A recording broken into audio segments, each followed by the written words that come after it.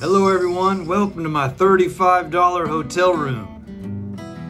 We've got a striking brown tree snake here, and it's rumored to be very aggressive towards humans and venomous. We're gonna try to handle this one and see if that's true. Pushing me away.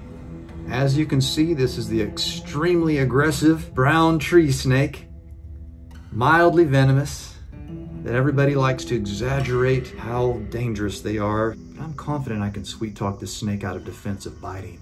If we were outside in the heat, it would be a little bit more of a challenge, especially with all that sweet green freedom around. Brown tree snakes belong to the genus Boiga, commonly called cat snakes. They are a colorful, assorted group of rear-fanged colubrids found in India, Southeast Asia, and Australia.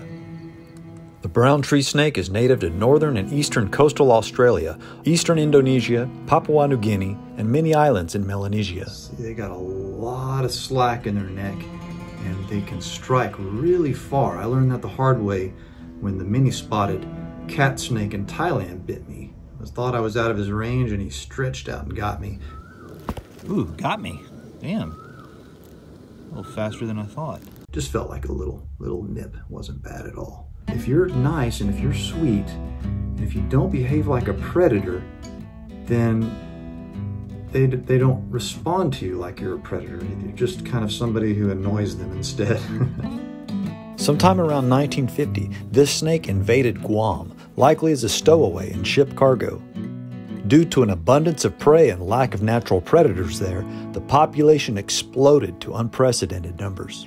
At least a dozen species have become extinct there, and there's been a lot of power outages, and they've become a general nuisance there in Guam.